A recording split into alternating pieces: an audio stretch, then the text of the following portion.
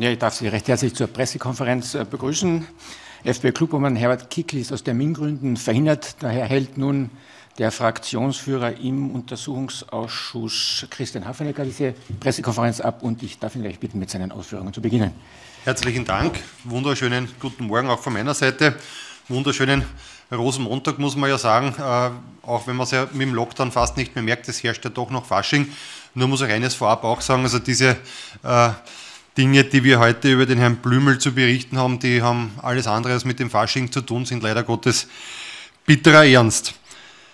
Ja, ich möchte Ihnen äh, natürlich auf der einen Seite noch eine kurze Rückschau geben äh, zu den Dingen, die ja mittlerweile schon bekannt sind und Informationen, die Sie auch schon kennen im Zusammenhang mit der Causa Blümel. Und es sind natürlich auch neue äh, Aspekte dabei, die wir heute durchgehen möchten, auch im Vorfeld äh, der morgigen Sondersitzung im Nationalrat. Und ja, man kann schon sprechen von einer äh, ÖVP-Novomatic-Causa, um die es hier geht. Und äh, eines haben wir in den letzten Monaten im Ibiza-Untersuchungsausschuss ja auch gemerkt, vor allem wenn es um Casinos geht, äh, dann ist es so, dass die Kugel in diesem Spiel immer auf schwarz rollt. Und äh, wenn wir uns jetzt äh, näher mit dem Herrn Blümel befassen, dann wird sich das auch bestätigen.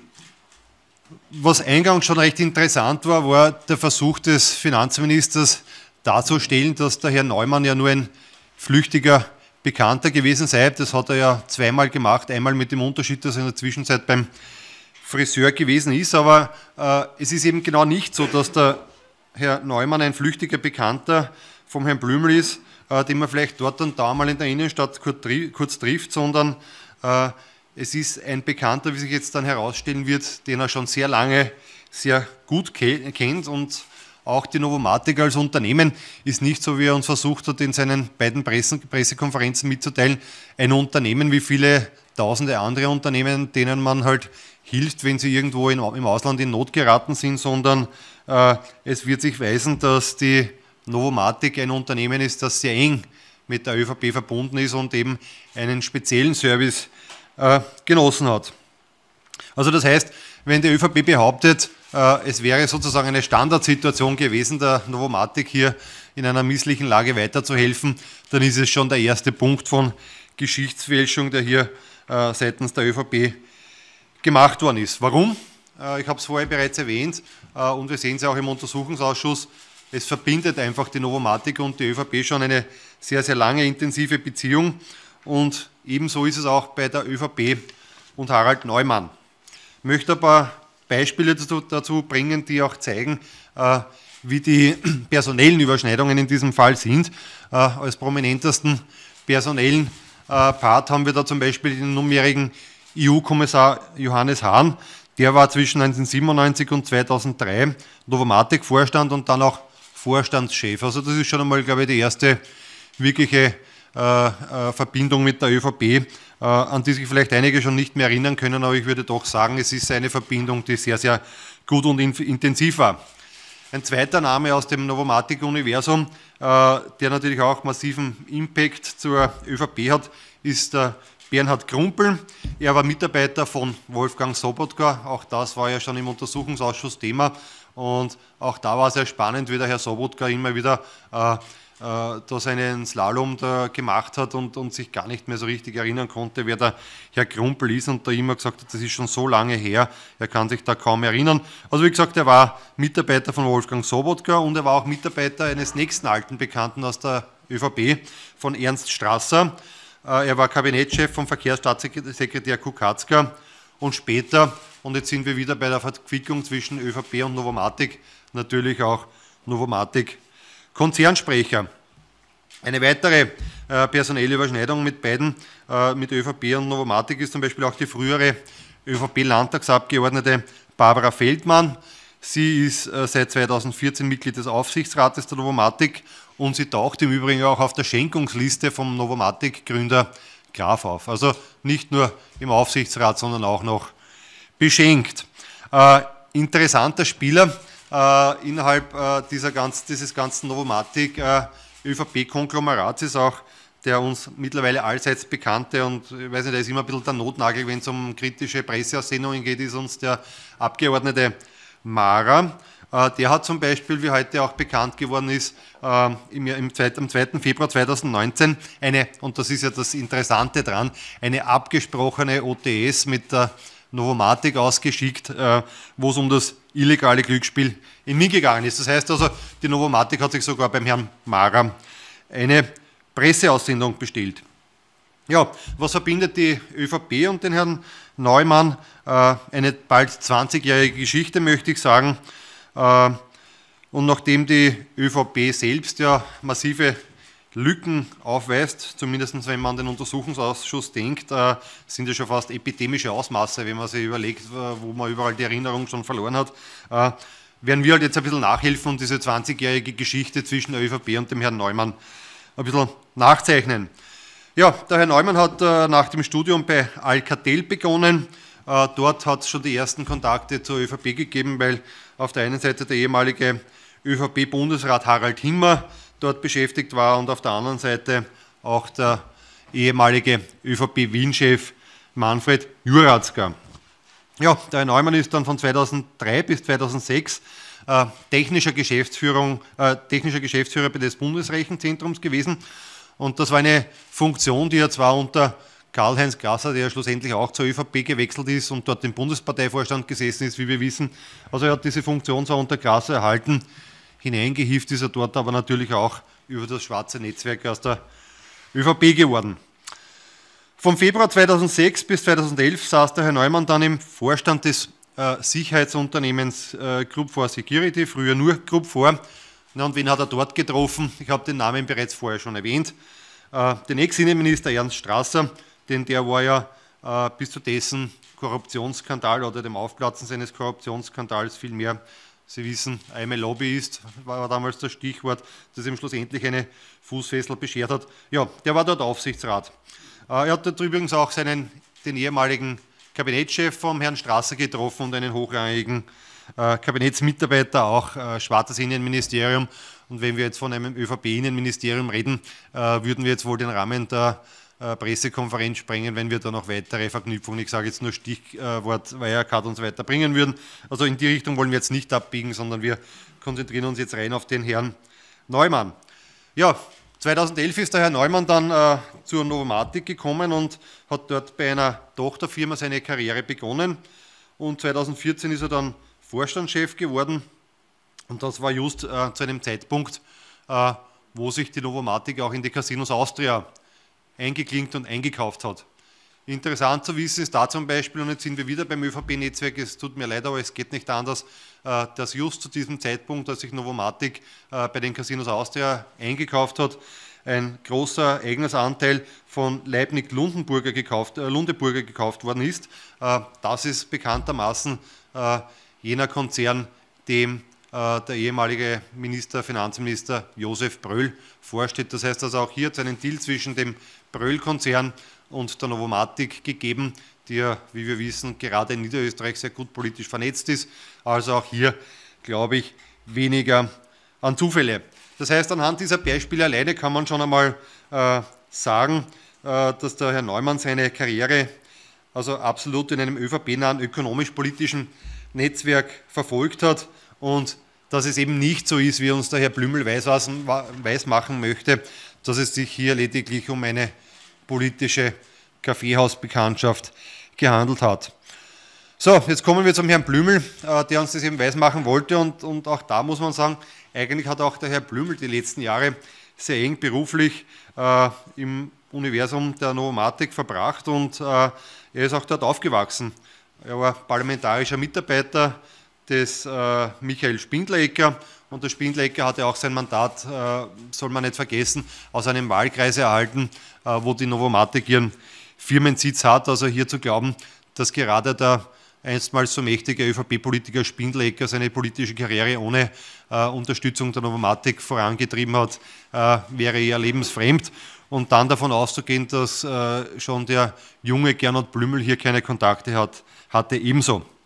Ja, er ist dann Generalsekretär der ÖVP geworden und war natürlich auch hier Ansprechpartner der Novomatic. Äh, und er war ja auch als Generalsekretär mit involviert in das Projekt Unternehmer Österreich 2025. Das war ein einer, ich würde sagen, fast ein, Vordenk, ein Vorläufer eines Thinktanks der, der ÖVP mit rund 300 Wirtschaftstreibenden.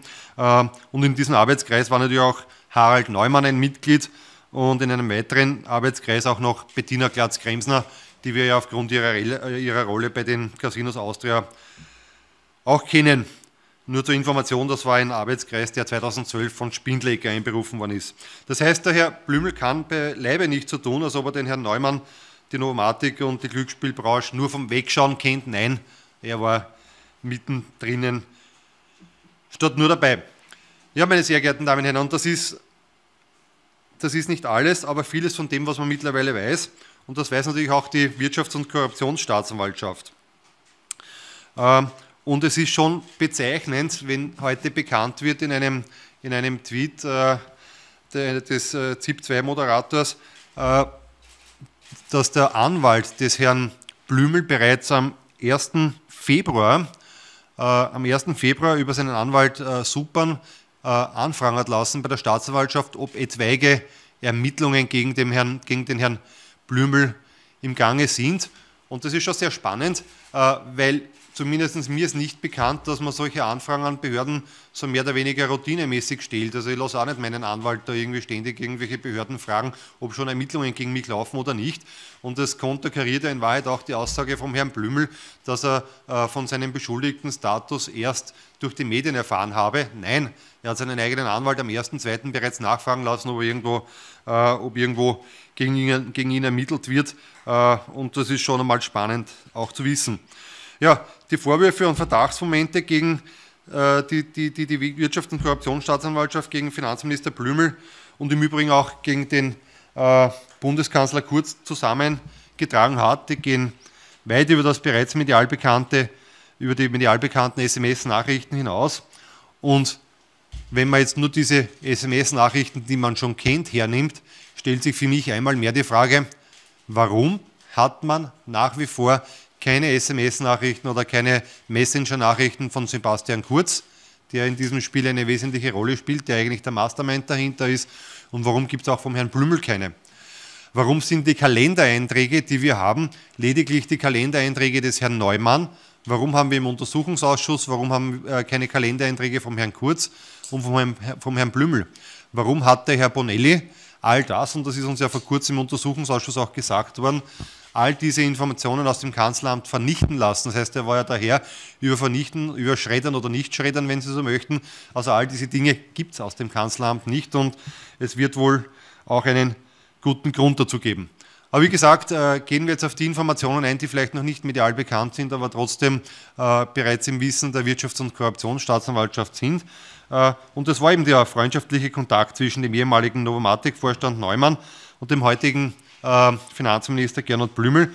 Diese besteht schon seit vielen Jahren und es sind Treffen, und da greifen wir wieder auf den Kalender von Neumann zurück, es sind Treffen bekannt, die bis in das Jahr 2012, bis ins Jahr 2012 zurückreichen.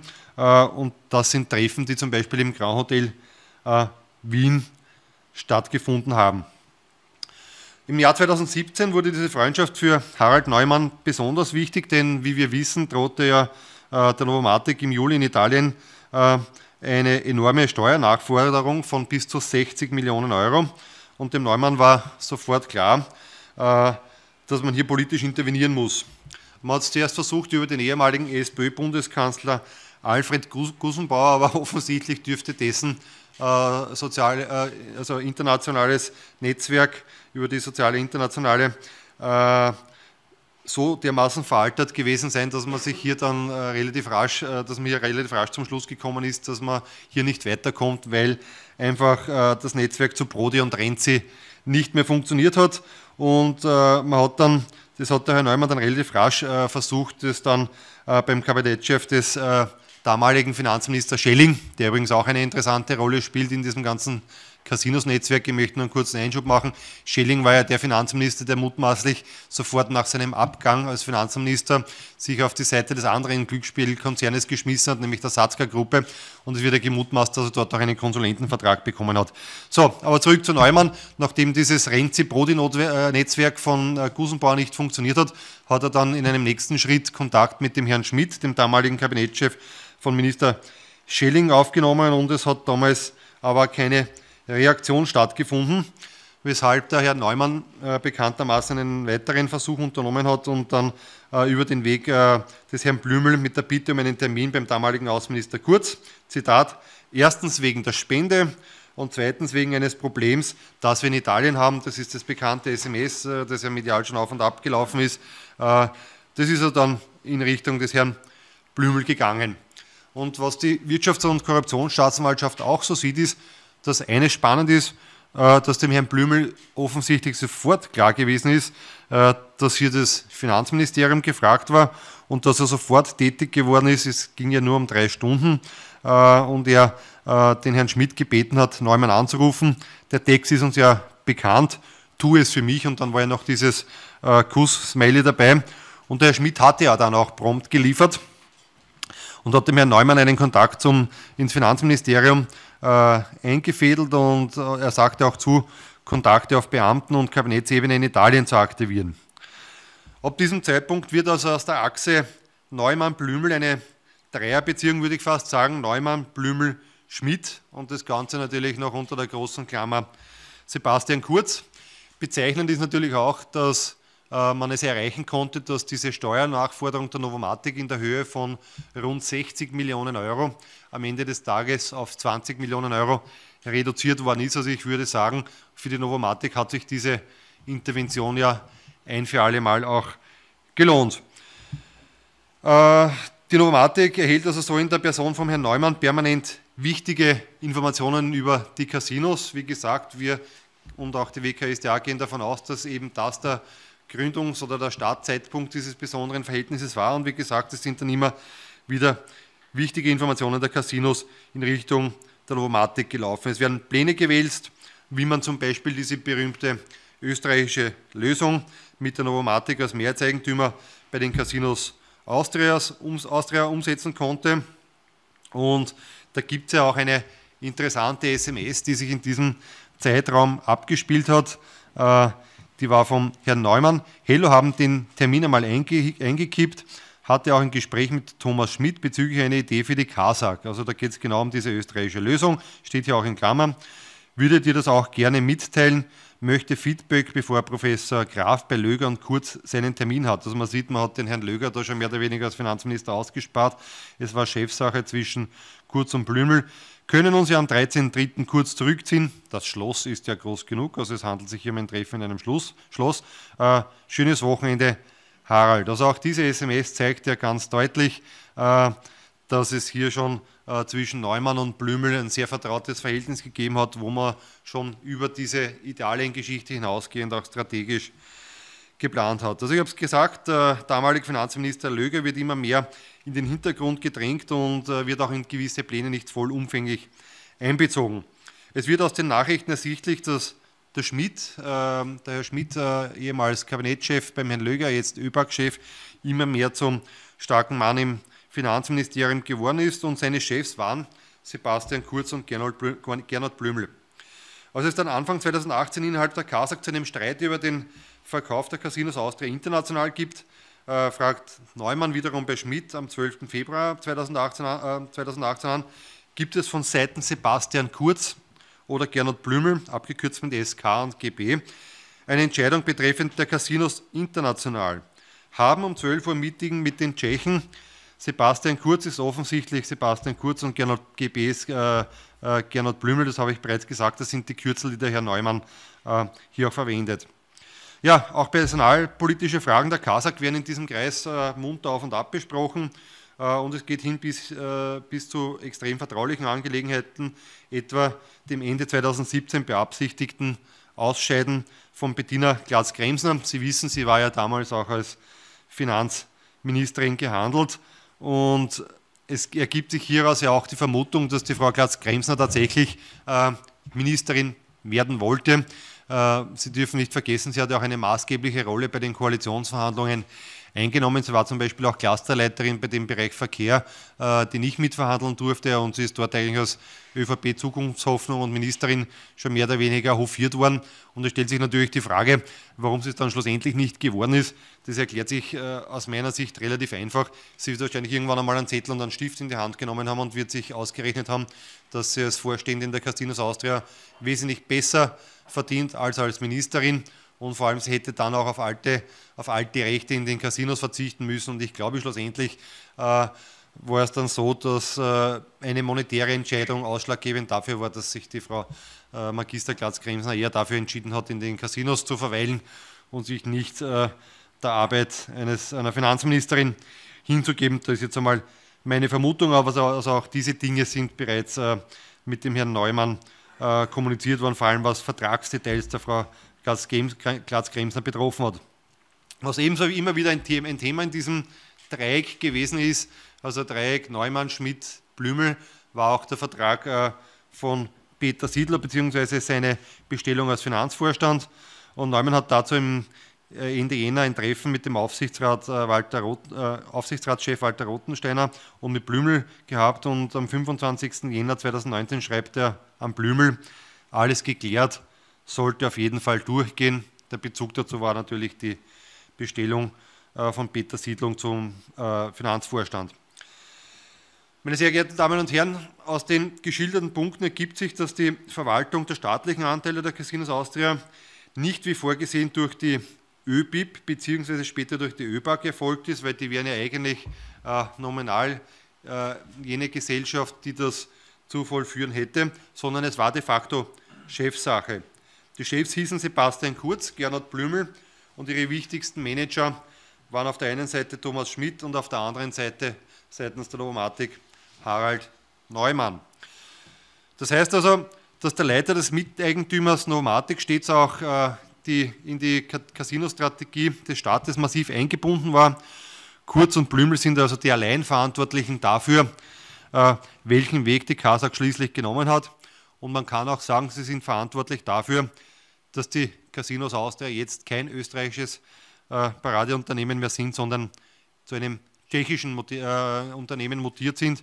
Und ich fürchte, wir werden es eher früher später erleben, dass die Casinos Austria auch faktisch zu den Casinos Tschechia mutieren. Kommen wir nun aber noch einmal zurück auf das Spendenangebot vom 12. Juli 2017. Ähm, auch dies ist ja nicht äh, isoliert zu betrachten, sondern muss das im Gesamtkontext sehen. Und es gibt ja auch vorher und nachher sehr, sehr viele verdächtige Vorgänge in diesem Zusammenhang. Sebastian Kurz wurde bekanntlich am 14. Mai 2017 zum geschäftsführenden Obmann der ÖVP bestellt.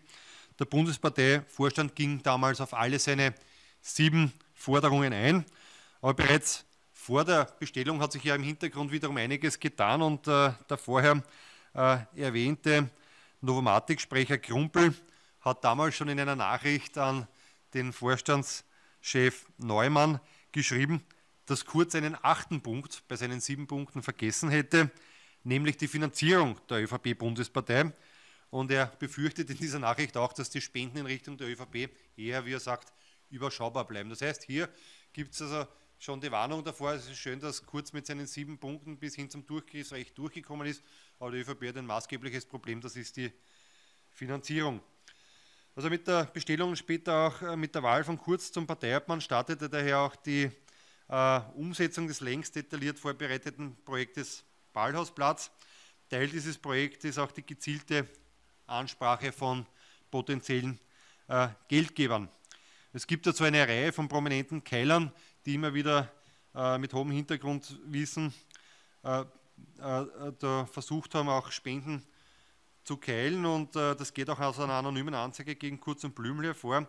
Und da werden immer wieder dieselben Personen aus dem ÖVP-Kurzfeld erwähnt, die sozusagen, Kurzumfeld erwähnt, die sozusagen dafür zuständig waren, äh, Gelder einzutreiben. Äh, ein Name, den man hier immer wieder liest, ist die Gabriela Spiegelfeld. Äh, sie, äh, sie betreibt ein PR-Unternehmen und ihr Ehemann, ein bekannter Immobilienhändler, wurde ja dann auch nach Medienberichten Anfang 2018 von Thomas Schmidt, wir wissen, der ÖBAG-Chef, der Allmächtige, über Vermittlung seiner Ehefrau in den Aufsichtsrat der Bundesforste gehievt. Selbstverständlich auf einem ÖVP-Ticket. Und hier wird es wieder interessant hinsichtlich der avisierten Spende des Harald Neumann. Wir erinnern uns an die SMS mit der Spende, mit dem Termin an, bei Kurz, wo er eben auch auf eine Spende verweist. Denn Neumann hat bereits am 31. Mai 2017 auf Einladung von Frau Spiegelfeld an einem Termin, geht aus dem Terminkalender von Neumann hervor, Frühstück mit Sebastian Kurz teilgenommen. Und jetzt wird spannend. Nur zwei Tage später, also nach diesem Frühstückstermin am 2. Juni 2017, fordert Neumann im Novomatic-Konzern eine Richtlinie zu ändern, die der Novomatic Parteispenden Spenden generell verbietet. Das heißt also, er hat hier Bezug genommen auf die Compliance-Richtlinie der Novomatic und hat ersucht, die in die Richtung zu ändern, dass Parteispenden in Österreich möglich sind. Also wie gesagt, ein Schellen, wer Böses dabei denkt, aber zwei Tage vor ist das Frühstück mit Kurz, wo es ganz offensichtlich darum geht, äh, dass die ÖVP äh, Finanzierungsnöte hat und eben auch einen äh, entsprechenden Finanzbedarf. Und zwei Tage später geht Neumann bereits in interne Gremien und fordert eine Änderung der Compliance-Richtlinien dahingehend, dass Parteispenden zugelassen werden. Äh, am 6. Juni kontaktiert er dann daraufhin Gernot Blümel und die beiden vereinbaren einen Termin für den 10. Juni. Und das ist alles genau ein Monat bevor Harald Neumann mit seiner Bitte um einen Termin bei Sebastian Kurz wegen der Novomatik-Probleme, ich habe sie vorher bereits geschildert in Italien, auch das Thema Spenden anspricht. Das heißt also, hier sind wir in einem ganz, in einem ganz engen zeitlichen Kontext. Äh, auf der einen Seite Spendenbedarf bei der ÖVP, Spendenkeilen bei der ÖVP. Neumann lässt Compliance-Richtlinien im Hinblick auf Spenden ändern. Äh, und schlussendlich bittet er dann um diesen Termin, um auf der einen Seite das Italien-Problem zu lösen und auf der anderen Seite mit dem Herrn Kurz auch über Spenden zu sprechen. Ja, nur zwei Wochen später gibt es dann die nächste verdächtige Unterhaltung äh, als Reaktion auf die Information, dass äh, KTM-Chef Pira äh, die Wahlkampfspenden an die ÖVP verdoppeln will, schreibt Neumann an den Novomatic-Sprecher Krumpel, der ja auch immer bestens informiert gewesen ist und noch einmal auch ein gutes ÖVP-Netzwerk unterhalten hat. Wir haben noch etwas Besseres vor. Na, da stellt sich für mich schon die Frage, was die bessere Idee seitens Novomatic, seitens des Herrn Neumann gewesen ist, äh, die noch besser ist als die Verdoppelung der KTM-Spenden. Also äh, hier kann man natürlich entsprechend mutmaßen, was die bessere Idee gewesen ist. Und es gibt ja da auch schon viele Vermutungen in die Richtung, was das gewesen sein könnte. Waren es Bürgschaften für die ÖVP, die man vielleicht übernommen hat? Sie erinnern sich, die ÖVP hat ja damals einen ganz, ganz massiven Bankfinanzierungsbedarf gehabt. War es vielleicht ein verdecktes Sponsoring, vielleicht durch Admiral? Ähm, es könnte auch so gelaufen sein, dass Admiral Inserate geschalten hat oder Sponsorings gemacht hat und dafür halt äh, ÖVP-Berichterstattung, positive ÖVP-Berichterstattung äh, das Gegengeschäft war. Vielleicht war das eine Art von Medienkauf und ich darf ja auch noch auf das äh, Stadtfest in Wien verweisen, wo es ja auch Admiral-Sponsoring gegeben hat und wo ja auch präsentiert worden ist, dass zum Beispiel David Hesselhoff von Admiral gesponserter Stargast gewesen ist, der schlussendlich, glaube ich, ja sogar auch mit dem Herrn Blümel äh, im Night gesessen ist. Also auch hier gibt es ja äh, wiederum ein Dreieck, David Hesselhoff, Gernot Blümel und Admiral, auch wenn das jetzt lustig klingt, das ist immerhin Fasching, nichtsdestotrotz äh, würde ich auch hier mal ein bisschen näher graben, was es hier bei dieser ganzen Geschichte mit dem äh, Stadtfest Wien auf sich hat. Auf sich hat. Ja, und damit nicht genug. Neumann schreibt am 29. August 2017 äh, an eine Assistentin der Boston Consulting Group, dass er gerne eine Einladung von Antonella May-Bochtler zu einem Dinner politische Prioritäten von Sebastian Kurz äh, am 25. September nachgekommen äh, wäre. Und das ist auch spannend. Warum schickt eigentlich die Boston Consulting Group Einladungen zu einem äh, Termin mit Sebastian Kurz aus, äh, wo es um die politischen Prioritäten von Sebastian Kurz geht. Also auch hier sieht man ja, dass die spätere Chefin des äh, Thinktanks von Sebastian Kurz, Mai Pochtler, also auch schon entsprechend äh, involviert gewesen ist. Im Übrigen war das der gleiche Think Tank, in dem auch äh, Markus Braun, der hinlänglich bekannte Chef von Wirecard, aktiv gewesen ist. Also es waren übrigens dort auch noch andere Personen eingeladen, die neben dem Herrn Neumann auch in die Kategorie superreich gefallen werden, nur damit man wieder ein bisschen sieht, wohin die ÖVP damals fokussiert hat. Man hat natürlich auf finanziell potente Spender geschielt und es war zum einen da zum Beispiel auf dieser Gästeliste der Cornelius Group zu finden. Äh, und auf der anderen Seite der Herr Zimmermann, äh, Chef der, der Berndorf Stiftung oder der zweitbest dotierteste Manager Österreich, der Herr Hörmann-Seder, äh, äh, Manager bei Meyer-Mellenhof. Also, dass auch die Frau May-Bochtler beim Aufstellen ausreichend finanzieller Mittel eine gewichtige Rolle gespielt hat, ist hinlänglich bekannt und ich möchte ja da auch noch ganz kurz einen Bericht des Standard im Mai 2017 zitieren. Äh, dass Kurz in den für die ÖVP so wichtigen Wirtschaftskreisen schwach aufgestellt sei, stimme nicht, sagte ein politischer Beobachter zum Standard. Kurz habe etwa die Politische Akademie der ÖVP, deren Präsident er ist, wiederholt für Konferenzrunden zu Themen wie Industrie 4.0 oder New Economy genützt. Dirigentin dieser orchestrierten Veranstaltungen ist Boston Consulting-Chefin Antonella May-Pochtler. Diese Verbindung soll auch nicht unwesentlich in Sachen Fundraising sein. Hier gäbe es Zusagen, Mittel seien auch bereits geflossen, sagt ein Eingeweihter.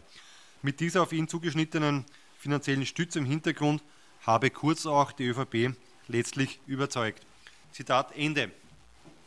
Fassen wir also zusammen. Gernot Blümel befindet sich seit Jahren im freundschaftlichen Austausch mit, ehemaligen, mit dem ehemaligen Chef der Novomatic. Diesen Austausch über zahlreiche Unternehmensinterner der Casinos Austria AG pflegte er auch in seiner Funktion als Minister im Kanzleramt und Regierungskoordinator der ÖVP, das soll man nicht vergessen. Blümels Einbeziehung war so eng, dass Novomatic-Chef Neumann sogar der Meinung war, dass Blümel und Sebastian Kurz die wichtigen Unternehmensentscheidungen in der KASAK treffen. Deswegen gab es ja immer wieder auch die direkte Kontaktaufnahme zu beiden. Schon aus diesem Grund ist es nicht tragbar, und wir haben das schon mehrfach auch in der letzten Woche gesagt, äh, und es war das zu keinem Zeitpunkt, dass Gernot Blümel jetzt als Finanzminister die Glücksspielaufsicht obliegt. Gernot Blümel war einer der zentralen Figuren beim Aufstieg von Sebastian Kurz zum ÖVP-Obmann und manche sprechen ja auch ÖVP-intern, dass es damals ja so einen, eine Art Putsch gegeben hat. Eine der wichtigsten, wenn nicht die wichtigste Säule in diesem von mir zitierten Projekt Ballhausplatz war das Sammeln von Spenden. Unter Verdacht, dass es für Spenden Gegenleistungen gab, besteht nicht nur im Zusammenhang mit der Novomatik. Viele andere, teilweise auch offizielle ÖVP-Spender, wurden in der folgenden Regierung mit Posten belohnt. Ich darf nur daran erinnern, es gibt auch eine ganze Reihe von Persönlichkeiten, die plötzlich in irgendwelchen Aufsichtsräten aufgetaucht sind, die plötzlich Mandate im Nationalrat erhalten haben, die hochdotierte Kabinettsposten erhalten haben und vielleicht noch eine Geschichte, weil es wiederum zum Fasching passt.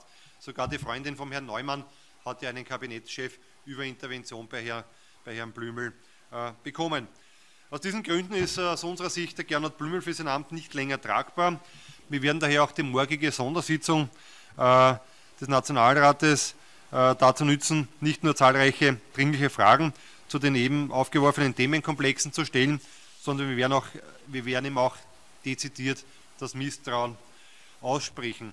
Meine sehr geehrten Damen und Herren, es geht hier nicht um eine SMS, äh, die sozusagen dazu geführt hat, dass Gernot Blümel einer Hausdurchsuchung unterzogen worden ist, sondern es geht um ein jahrzehntelanges altes Netzwerk, äh, das hier mit der ÖVP und der Novomatik bereits. Ja,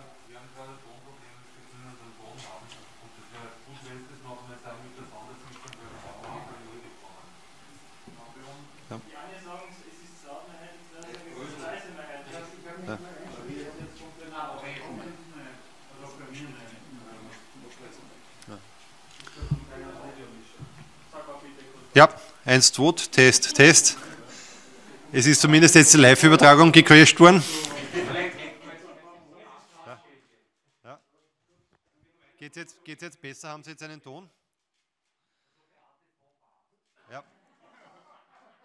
Gut, na dann werden wir das noch einmal machen. Also es geht jetzt um die Sondersitzung morgen.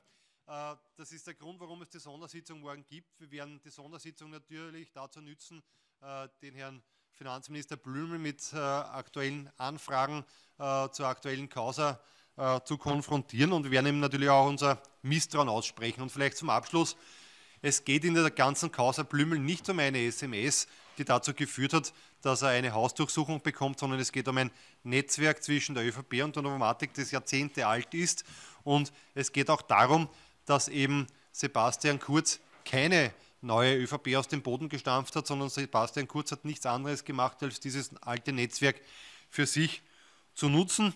und er hat nichts anderes gemacht, als zuerst äh, äh, das Geld aufzutreiben, um zur, Macht zu um zur Macht zu kommen.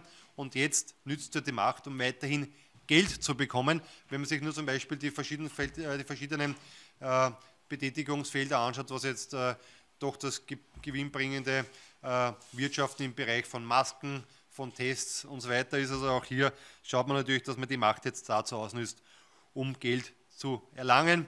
Und zum Abschluss, und ich glaube, das ist das Wesentliche, man kommt ja nur einen Schritt weiter mit dem Herrn Blümel. Der Herr Blümel war und ist der Intimus des Herrn Kurz und der Herr Kurz ist der Kopf hinter dieser ganzen Geschichte und es wäre jetzt mehr als an der Zeit, endlich auch die fehlenden Informationen aus dem Bundeskanzleramt zu bekommen, sprich SMS und Kalendereinträge von Herrn Kurz und von Herrn Blümel, um dieses Bild abzurunden.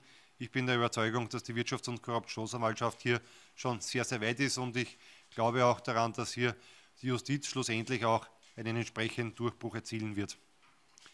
Dankeschön. Wenn es Fragen dazu gäbe, bitte.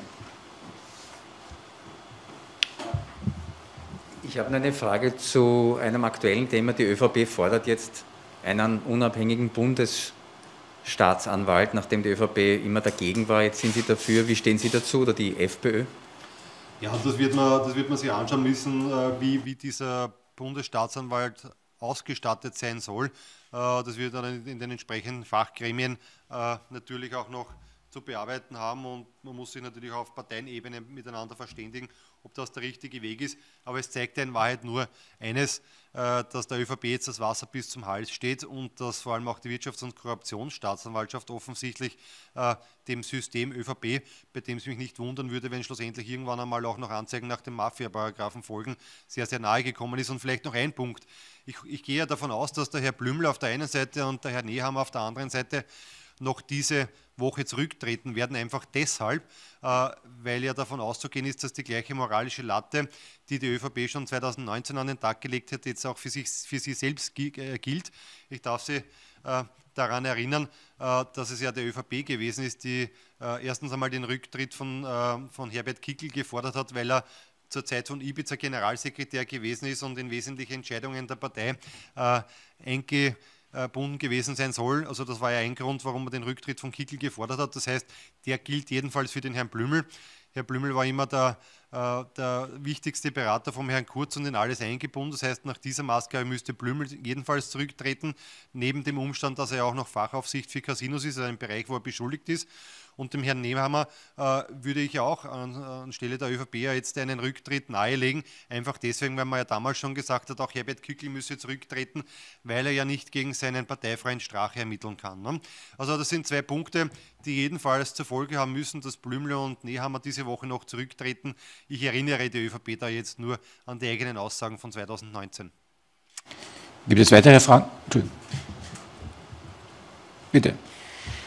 Ähm, wie beurteilen Sie das, dass die äh, ÖVP, also die eidesstattliche Erklärung, die Gernot Blümel abgegeben hat und dass jetzt eben auch schon, ich glaube, 13 Anzeigen rausgegangen sind, weil ja gemeint wurde, es werden alle verklagt, die hier das Gegenteiliges behaupten. Und ich glaube, diese Anzeigen sind mittlerweile wegen Verleumdung, Unterstellung. Wie beurteilen Sie denn dieses Vorgehen der ÖVP?